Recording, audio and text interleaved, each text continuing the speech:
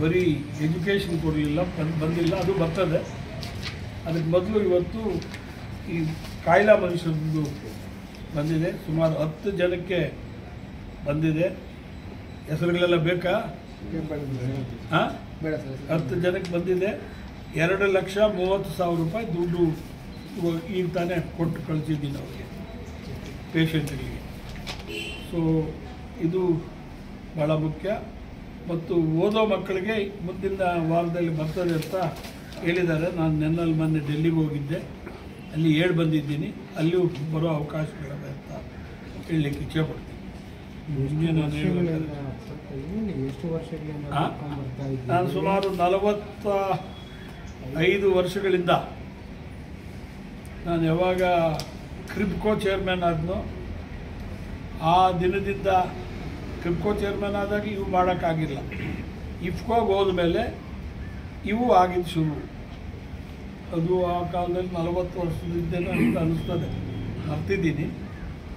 ಅವತ್ತಿಂದ ಇವತ್ತುವರೆಗೂ ಕೂಡ ಪ್ರತಿ ತಿಂಗಳು ದೆಹಲಿಗೆ ಹೋಗುವಂಥ ಅವಕಾಶ ಮಾಡಿ ಕೊಟ್ಟಿದ್ದಾರೆ.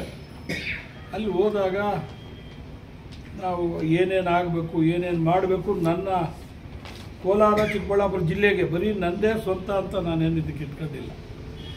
ಇವತ್ತು ಏನು ಈ ಮಕ್ಕಳಿಗೆ ಬರುವಂಥ ಕಾಯಿಲೆಗಳಿಗಾಗಲಿ ಅಥವಾ ಇದಾಗಲಿ, ಇದಕ್ಕೆಲ್ಲ ದುಡ್ಡು ಕೊಡುವಂಥ ಅವಕಾಶ ಇಫ್ಕೋ ಸಂಸ್ಥೆಯಿಂದ ಬಂದಿದೆ. ಇವತ್ತು ಏನು ಇಫ್ಕೋ ಸಂಸ್ಥೆಯಿಂದ ನಾನು ಕೊಟ್ಟು ಕೊಡ್, ಕೊಡ್ತಿದ್ದೀನಿ. ಅದು ನನ್ನ ಕೈಯಿಂದ ಅಂತೂ ಅಲ್ಲ ಸಹ ನಮ್ಮ ಸಹಕಾರ ಕ್ಷೇತ್ರ ಇಫ್ಕೋ ಸಂಸ್ಥೆಯಿಂದ ಕೊಡ್ತಾ ಇದೆ ಸರ್ ಲೋಕಸಭೆ. ಲೋಕಸಭೆ ಲೋಕಸಭೆ ಚುನಾವಣೆ ಬರ್ತದೆ ಸರ್ ಈಗ ಮುಂದೆ ಅದ್ರ ಬಗ್ಗೆ ಏನು ಲೋಕಸಭೆ ಚುನಾವಣೆ ಬರ್ತಾ ಇದೆ ಹತ್ರ. ಇನ್ನು ದೊಡ್ಡವರೆಲ್ಲ ಅವರೇ ಕೋಲಾರದ ಕೋಲಾರ ಕೋಲಾರ ಚಿಕ್ಕಬಳ್ಳಾಪುರ ಎರಡು ಜಿಲ್ಲೆಗಳು ಸೇರ್ತದೆ ಅದು. ಅವನ್ನೆಲ್ಲ ಕೂರಿಸಿ ಮಾತಾಡಬೇಕಾಗ್ತದೆ. ಅದಕ್ಕೆ ಸಂಬಂಧಪಟ್ಟ ಏನಾದರೂ ಇದಕ್ಕೆ ಅಗತ್ಯ ಇದೆ ಕೂರಿಸಿ ಮಾತಾಡ್ತೀವಿ. ಈ ಸಲ ಕಾಂಗ್ರೆಸ್ ಅವ್ರಿಗೆ ಅಭ್ಯರ್ಥಿ ಯಾರಾಗ್ತಾರೆ ಸರ್ ಅದು ಗೊತ್ತಿಲ್ಲ. ಇನ್ನು ಯಾರು ಬ ಇದುವರೆಗೂ ನಾನು ಕೇಳಿದವರು ಯಾರೂ ಇಲ್ಲ. ಕೆ ಎಚ್ ಬೇರೆಯವರು ಯಾರು ಕೇಳಿದಾರೋ ಗೊತ್ತಿಲ್ಲ. ಕೆ ಎಚ್ ಮುನಿಯಪ್ಪ ಅವರು ಟಿಕೆಟ್ ಕೇಳ್ತಾ ಇದ್ದಾರೆ. ಕೆ ಎಚ್ ಮುನಿಯಪ್ಪ ಈಗ ಅಲ್ಲಿ ಮಂತ್ರಿ ಆಗಿಲ್ಲ ಅಂತ ಯಾಕೆ ಗೊತ್ತಾ? ಅವರು. ಅಲ್ಲ ಅವ್ರ ಅಭಿಮಾನಿಗಳು ಒತ್ತಾಯ ಮಾಡ್ತಾರೆ ನಿಂತ್ಕೋಬೇಕು ಮತ್ತೆ ಕೋಲಾರಳಿ ಅಂತ. ಅದು ಅವ್ರನ್ನೇ ಕೇಳಿ ನಾನು ಕೇಳೋಕ್ಕಿಲ್ಲ ಅಲ್ಲ ಸರ್ ಈಗ ಕೊತ್ತೂರು ಮಂಜೂರು ಹೇಳ್ತಾ ಇದ್ದಾರೆ ಒಬ್ಬ ಅಭ್ಯರ್ಥಿ ಆಲ್ರೆಡಿ ರೆಡಿ ಮಾಡ್ಕೊಂಡಿದ್ದೀವಿ ಕೋಲಾರಳಿ ಅಂತ? ಒಬ್ಬ ಅಭ್ಯರ್ಥಿನ ರೆಡಿ ಮಾಡ್ಕೊಂಡಿದ್ದೀವಿ ಕೋಲಾರಳಿ ಏನಪ್ಪ ಅಂತ. ಗೊತ್ತಿಲ್ಲ ಆತನಿಗೆ ಕೇಳ್ಬೋದು ನನಗೆ ಗೊತ್ತಿಲ್ಲ. ಆತನ ಹೇಗೆ ಕೇಳಿದ್ರೆ ಯಾರು ಕೇಳ್ತಾವ್ರೆ ನನಗೆ ಯಾರ ಕಡೆ ಒಲವು ಇದೆ ಸರ್?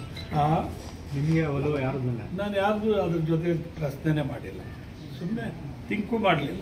ಯಾರು ಮಾಡಬೇಕು ಏನು ಯಾಕೆ ಹೋದ ಸಾರಿ ಆ ಮನುಷ್ಯನ ಮಾಡಿ ನಾವು ಮುಗಿಸಿದ ಮೇಲೆ ನನಗೆ ಆ ವ್ಯವಸ್ಥೆ ಮೇಲೆ ಚಿಂತನೆನೇ ಹೋಗ್ಬಿಟ್ಟು ಅದಕ್ಕೆ ಕಾರಣಗಳು ನಿಮಗೆ ಗೊತ್ತು.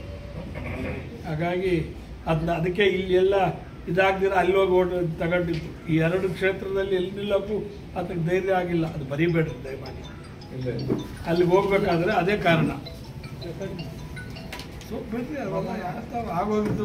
ಸರಿ. ಆಗಿರೋದು ಆಗಿದೆ ಆಗಿದ್ದು ಆಗಿದೆ. ಸರ್ ಈಗ ಸರ್ಕಾರದಿಂದ ನಿಗಮ ಮಂಡಳಿಗಳು ಕೊಡ್ತಾ ಇದಾರೆ ಸರ್. ಸರ್ಕಾರದಿಂದ ಕೆಲವರಿಗೆ ನಿಗಮ ಹೇಳಿಲ್ಲಪ್ಪ. ಕೊಟ್ಟರೆ ಬೇಡ ಅನ್ನಲ್ಲ. ರಾಜಕಾರಣದಿಂದ ದೂರ ಇದ್ದೀರಾ ಅಂತ ಅನ್ಸುತ್ತೆ ಸರ್. ರಾಜಕಾರಣದಲ್ಲಿ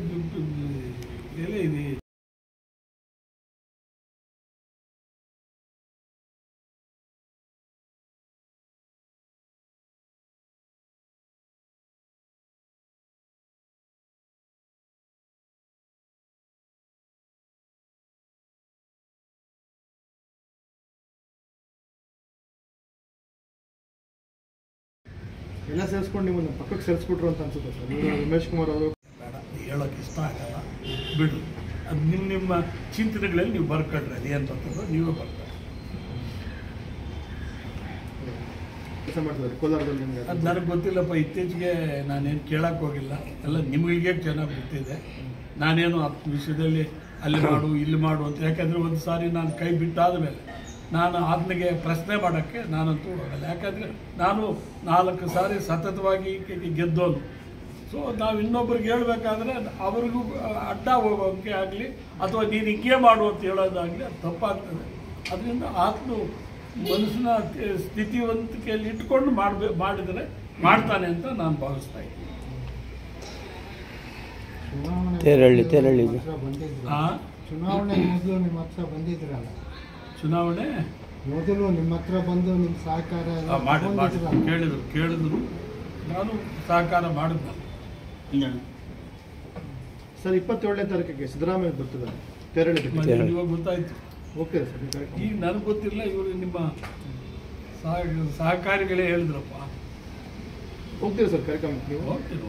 ಕರೆದಿದ್ದಾರೆ ನಮ್ಮ ಮುಖ್ಯಮಂತ್ರಿ ಕರೀತಾರೋ ಬಿಡ್ತಾರೋ ಮುಖ್ಯಮಂತ್ರಿ ಬರ್ತಾರೆ ಅಂತಂದ್ರೆ ನಾನು ಅವ್ರ ಜೊತೆಯಲ್ಲಿ ಮಂತ್ರಿಗಳಾಗಿದ್ದವರು. ಧರ್ಮಸಿಂಗ್ ಸರ್ಕಾರದಲ್ಲಿ ನಾನು ಮಂತ್ರಿ ಅವರು ಮಂತ್ರಿ ಆಗಿದ್ದವರು ಹಾಗಾಗಿ ಗೌರವತ್ವ ಗೌರವ ನನ್ನ ಕ್ಷೇತ್ರಕ್ಕೆ ಬರ್ತಾರೆ. ಅನ್ನೋದ್ರಿಂದ ಆ ಗೌರವ ಇರ್ತದೆ ನಾನು ಹೋಗ್ಲೇಬೇಕಾಗ್ತದೆ. ಸಿ ಎಂ ಮುನಿಯಪ್ಪ ಅವರು ಅಭ್ಯರ್ಥಿ ಆಗ್ತಾರೆ ಅಂತ ಒಂದು ಮಾತಾಡ್ತಾರೆ ಸರ್ ಅದಕ್ಕೆ ಏನು ಸಹಮತ? ಅವ್ರನ್ನೇ ಕೇಳಿ ನನಗೆ ಗೊತ್ತಿಲ್ಲ.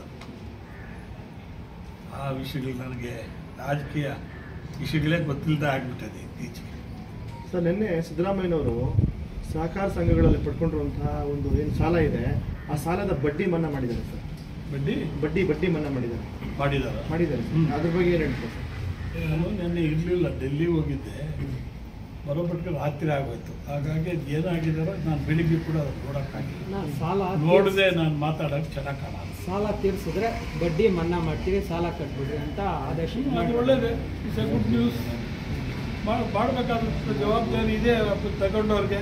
ಅದು ಕಾಸಿಲ್ದಿರ ಎಷ್ಟು ಬಡ್ಡಿ ಇದೆ ಅನ್ನೋದು ತಿಳಿಯೋಲ್ಲ ಫ್ರೀಯಾಗಿ ಸಿಗೋವಾಗ ಅವರು ನೇರವಾಗಿ ಮಾಡಿದರೆ ಇವಾಗಲೂ ಕೂಡ ಅವ್ರಿಗೂ ಅನುಕೂಲ. ಸಮಾಜಕ್ಕೂ ಅನುಕೂಲ ಉಳಿದವ್ರಿಗೂ ಅನುಕೂಲ. ಅಲ್ಲ ಸರ್ ನೀವು ವೇಮ್ಗಲ್ ಸಮಾವೇಶ ಮಾಡಿ ಅಲ್ಲಿ ಸಂಪೂರ್ಣ ಸಾಲ ಮನ್ನಾ ಮಾಡ್ತೀವಿ ಅಂತ ಹೇಳಿದ್ರೆ ಮಹಿಳಾ ಸಂಘಗಳು ಈಗ ಬಡ್ಡಿ ಮಾತ್ರ ಮನ್ನಾ ಮಾಡಿದ್ದೀರಾ? ಅದ್ರ ಬಗ್ಗೆ ಏನು ಹೇಳ್ತೀರಾ ಸರ್?